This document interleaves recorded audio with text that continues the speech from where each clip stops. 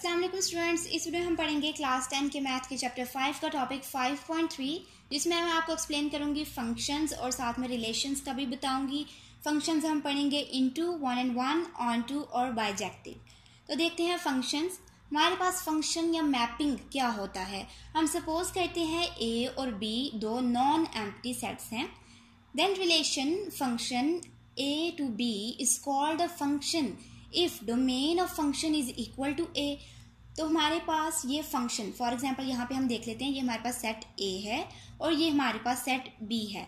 तो उन्होंने कहा है कि रिलेशन जो है, हमारे पास फ़ंक्शन तब होगा अगर इस फ़ंक्शन की डोमेन जो है सेट ए की सारी एलिमेंट्स के इक्वल हो, यानी हम सेट में जो एक्स एलिमेंट्स लिखेंगे, जो डोमेन लिखेंगे, वो ज़ीरो वन टू थ्री जो सेट ए में है, वो हो, यानी domain F is equal to A यहाँ पे फ़ंक्शन की डोमेन ए सेट के इक्वल हो, पहले ये हमारे पास कंडीशन है, और फिर दूसरी कंडीशन है every X belongs to A X यानी वही जो हम सेट में डोमेन की जगह लिखते हैं।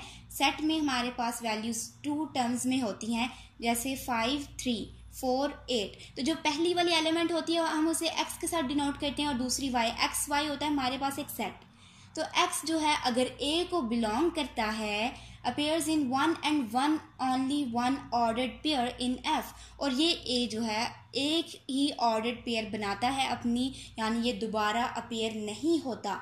तब ये फ़ंक्शन होगा। इसे आगे भी हम डिटेल से देखते हैं।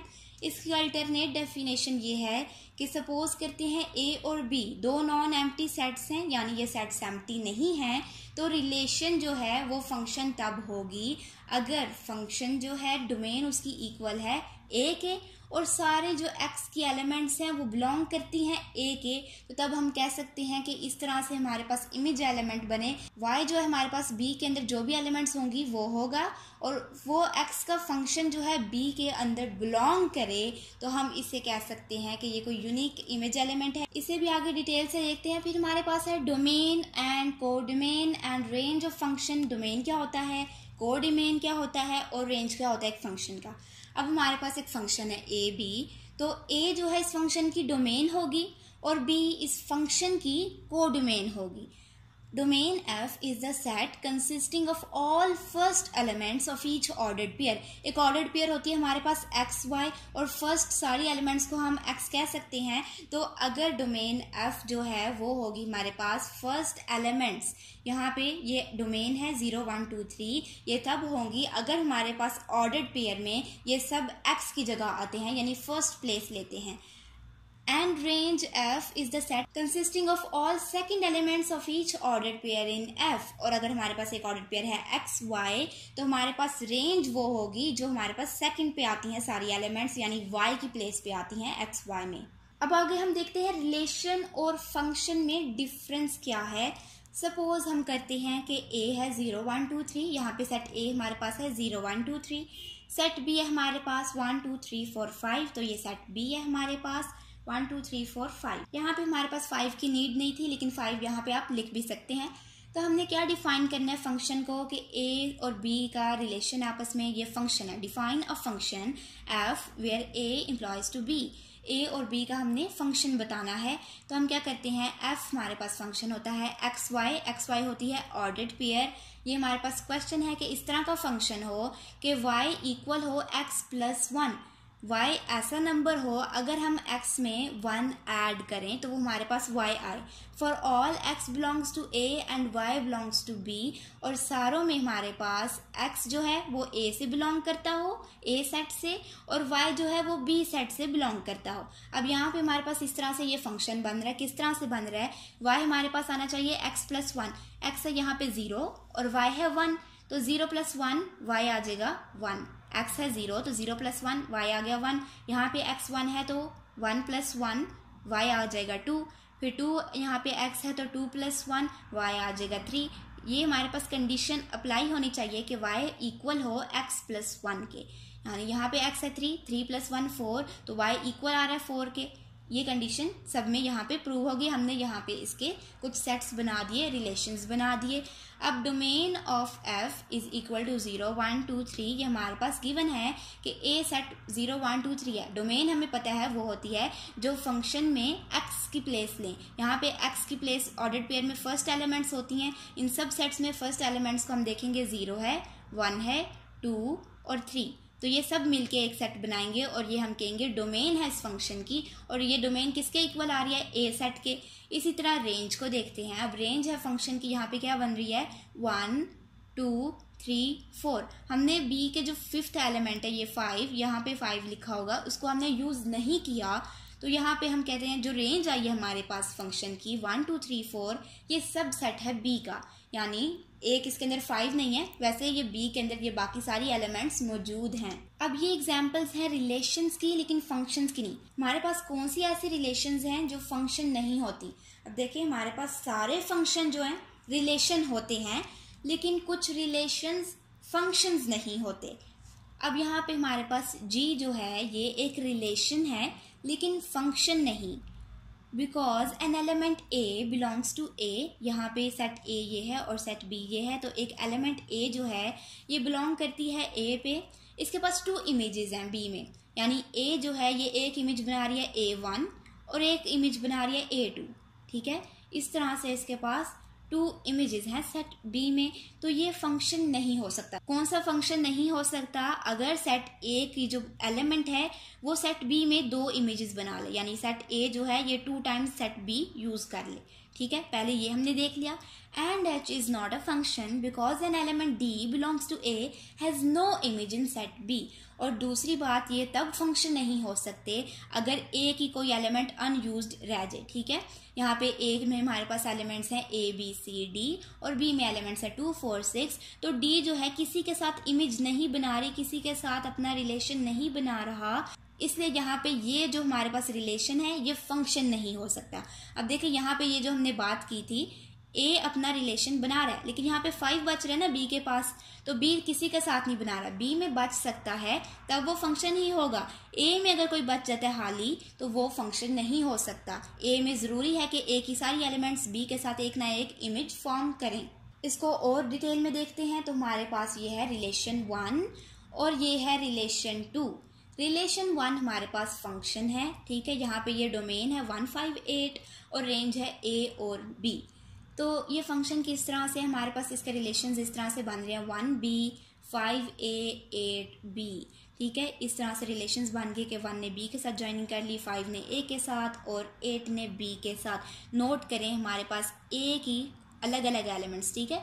बी के साथ, देखें, इन्होंने फॉर्म कर ली अपनी इमेज तो ये जो है सेट बी इसमें हमारे पास दो टाइम्स ये बी यूज़ हो रहा है। बी जो है ए के ए सेट ए में वन के साथ भी बना रहा है अपना रिलेशन और यहाँ पे एट के साथ भी बना रहा है। तब ये फ़ंक्शन हो सकता है। अभी हमने क्या देखा, यहाँ पे ए जो है दो इमेजेस बना रहा है बी में।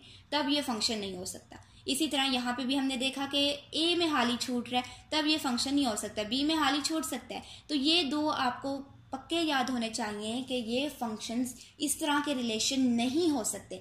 बाकी किसी भी तरह के रिलेशन हो जाए, वो फ़ंक्शन हो सकते हैं। तो यहाँ पे क्या हो रहा है कि बी जो है, दो फॉर्म कर रहा है, तब ये फ़ंक्शन हो सकता है। अगर एट जो है बी के साथ भी बना रहा होता ए के साथ भी बना रहा होता, यानी यहाँ से दो एरोज जा रहे होते, तब ये फ़ंक्शन ना होता। रिलेशन टू देखते हैं। अब ये रिलेशन टू फ़ंक्शन नहीं है। मैंने आपको क्या कहा? सारे रिलेशन फ़ंक्शन हो भी सकते हैं या नहीं भी। लेकिन जो फ़ंक्शंस होते हैं, वो रिलेशन ज़रूर होते हैं। तो यहाँ पे ये रिलेशन ये फ़ंक्शन नहीं है, वो क्यों? इसका इस तरह से बन रहा है कि वन जो है बी के साथ भी बना रहा है, ठीक है? आगे हमारे पास फाइव ए के साथ भी बना रहा है और सी के साथ, ये वही है जो हमने अभी देखा। तो ये जो है हमारे पास सेट ए की एलिमेंट टू इमेजेस नहीं बना सकती बी में। अगर वो बनाती है तो वो फ़ंक्शन नहीं होगा। The same x value five has two different y values तो इसको सेट में हम इस तरह से देखेंगे कि हमारे पास ये जो डोमेन डोमेन है, यानी टू टाइम्स आ गई फाइव ठीक है? और रेंज इसके पास ए भी है और सी भी है तो ये दो वाई वैल्यूज़ हैं इसके पास। यानी डोमेन हमारे पास टू टाइम्स रिपीट नहीं होनी चाहिए, तब ये फ़ंक्शन अगर ये रिपीट होती है, यानी टू टाइम्स हमारे पास डोमेन रिपीट हो रही है फाइव एक दफ़ा आ रहा है ए के साथ, एक दफ़ा आ रहा है सी के साथ, तब ये फ़ंक्शन नहीं होगी। अगर डोमेन हमारे पास रिपीट नहीं होती, लेकिन रेंज रिपीट होती है। यहाँ पे रेंज में हमारे पास अब बी बी यहाँ पे वन के साथ भी आ रहा है और एट के साथ भी आ रहा है। तो यहाँ पे तब ये फ़ंक्शन हो सकता है। तो क्या आपने याद रखना है कि रेंज में अगर हमारे पास रिपीट होती है तो ये फ़ंक्शन हो सकता है। लेकिन डोमेन अगर हमारे पास रिपीट होती है, यानी एक्स की वैल्यूज़ रिपीट होती हैं तो ये फ़ंक्शन नहीं हो सकता। इन सब पॉइंट्स को आप नोट कर लें। आगे हम फ़ंक्शंस को देखते हैं। तो फ़ंक्शंस में हमारे पास आ जाता है इनटू फ़ंक्शन एक function A to B is called an into function if at least one element in B is not an image of some element of set A तो हमारे पास ये इनटू फ़ंक्शन तब होगा अगर बी की कोई एक एलिमेंट खाली हो। सिंपल आप इसको लिख लें, इसकी आइडेंटिफिकेशन लिख लें नोट कर लें इनटू फ़ंक्शन तब होगा if one element of B is left alone एक एलिमेंट ऑफ़ बी को हमने छोड़ दिया है अकेले, ठीक है? Is called an into function if at least one element of B is not an image यानी बी की कोई ना कोई एक एलिमेंट ए के साथ इमेज ना बनाती हो, कोई भी रिलेशन ना बनाती हो, तब ये हमारे पास इनटू फ़ंक्शन हो जाएगा of set A that is range of f is a subset of B यानी जो हमारे पास रेंज आएगी ना, वो हमारे पास बी का सबसेट होगी। बी की ज़ाहिर सी बात है, जब एक एलिमेंट यूज़ नहीं हो रही, बाकी तीन हो रही हैं तो उसका सबसेट बन जाएगी वो। क्योंकि एक एलिमेंट तो अभी नहीं है। जब ये एक एलिमेंट आ जाएगी, तब वो उसका सेट होगी। तो for example we define a function A to B such that function हमारे पास रिलेशन यहाँ पे क्या बन रही है? ज़ीरो वन के साथ भी बना रहे हैं। वन वन के साथ भी बना रहा है। अब नोट करें यहाँ पे क्या हो रहा है? यहाँ पे हमारे पास रेंज जो है टू टाइम्स आ रही है, लेकिन डोमेन टू टाइम्स नहीं आ रही तो ये फ़ंक्शन है। अगर डोमेन टू टाइम्स आती तो ये रिलेशन होता। अब इसको आगे नहीं देखते। तो यहाँ पे फ़ंक्शन आ गया ज़ीरो वन वन वन देखें यहाँ पे रेंज रिपीट हो रही है, ये वन और ये वन फिर टू थ्री और three two where a is equal to अब यहाँ पे हमारे पास ए सेट ये गिवन था और बी सेट ये गिवन था, ये हमने लिख दिया। तो f is an into function into function की आप नोट करेंगे क्या है इसकी identification one element of B is left alone B की एक एलिमेंट को अकेला छोड़ दिया जाता है यानी फोर को हमने अकेला छोड़ दिया। अब हम देखते हैं one and one function a function f A to B is called one and one function if all distinct elements of A have distinct images in B. That is fx1 is equal to fx2, x1 is equal to x2 belongs to A. अच्छा अब इसको हम ये देखते हैं। हमारे पास one and one function की आइडेंटिफिकेशन क्या है? ये तब होता है जब ए की बी के साथ हर अलग इमेज बनी हो। If a has different relation with b ठीक है? यहाँ पे क्या होता है? ये देखें, ये ए ज़ीरो जो है, ये वन के साथ भी आ रहा है वन जो है वन के साथ भी आ रहा है। यानी बी जो है टू टाइम्स यूज़ कर सकता है सेट ए लेकिन इस केस में सेट बी जो है, ये टू टाइम्स नहीं यूज़ करेगा सेट ए ए की जो है, हर इमेज अलग होगी zero one one, two two, three three, four, ठीक है, सब अलग हो रहा है। लेकिन यहाँ पे भी हम सेट बी को हाल ही छोड़ रहे हैं तो यहाँ पे ये इंटू फ़ंक्शन भी हो सकता है, क्योंकि इंटू फ़ंक्शन तब होता है कि अगर बी की एक एलिमेंट को हाल ही छोड़ दिया जाए। तो यहाँ पे हम फॉर एग्ज़ाम्पल एक एग्ज़ाम्पल ले लेते हैं कि ए सेट हमारे पास ये है zero one two three B set है one two three four five तो हम then we define a function A to B तो हम फिर फ़ंक्शन ए टू बी को इस तरह से डिफाइन करते हैं कि एक फ़ंक्शन है एक्स वाई तो y इक्वल हो x प्लस वन के for all x belongs to A and y belongs to b. तो ये हमने सेट कहाँ इस तरह का बनाया कि x प्लस वन हम करें तो y के इक्वल है। ज़ीरो प्लस वन करेंगे तो y आ जाएगा वन वन प्लस वन यानी x प्लस वन करेंगे तो टू आ जाएगा। इक्वल आ जाएगा y के। फिर two plus one three equal आ जाएगा y के। Three plus one four equal आ जाएगा वाई के तो ये f is a one and one function इसकी सारी अलग इमेजेस बनती हैं बी के साथ। इसकी डोमेन और रेंज को देखते हैं तो इसकी डोमेन देखें ज़ीरो वन टू थ्री और इसकी रेंज देखें वन टू थ्री फोर ना डोमेन में कोई वैल्यू रिपीट हुई है, ना रेंज में कोई वैल्यू रिपीट हुई है। तो इसलिए ये हमारे पास वन एंड वन फ़ंक्शन है। अगर वैल्यू रिपीट होती है किसी में भी तो ये वन एंड वन फ़ंक्शन नहीं हो सकता। वैसे तो अगर डोमेन में वैल्यू रिपीट होती है तो ऑब्वियसली हमें पता है वो फ़ंक्शन ही नहीं हो सकता। लेकिन अगर रेंज में होती है, तब वो वन एंड वन फ़ंक्शन नहीं हो सकता। कोई और फ़ंक्शन हो सकता है। अब हम देखते हैं into and one and one function यानी इनटू भी हो वो फ़ंक्शन और वन एंड वन फ़ंक्शन भी हो तो इसका एक और नाम है इंजेक्टिव फ़ंक्शन ठीक है? यहाँ पे हमारे पास है into and one and one function इसे इंजेक्टिव फ़ंक्शन भी कहा जाता है। Function discussed in B is also an into function ठीक है? ये फ़ंक्शन हमने डिस्कस किया था अभी। तो ये फ़ंक्शन हमारे पास इंटू फ़ंक्शन भी है, ये मैंने आपको पहले भी कहा, वो किस तरह से? क्योंकि बी की एक एलिमेंट को उन्होंने अकेला छोड़ दिया। हमारे पास इनटू फ़ंक्शन की थी आइडेंटिफिकेशन कि one element of B is left alone यहाँ पे बी की एक एलिमेंट को अकेला छोड़ दिया है। तो फिर ये हमारे पास हो गया इनटू फ़ंक्शन और वन एंड वन इसलिए है क्योंकि कोई भी इसकी रेंज रिपीट नहीं हो रही।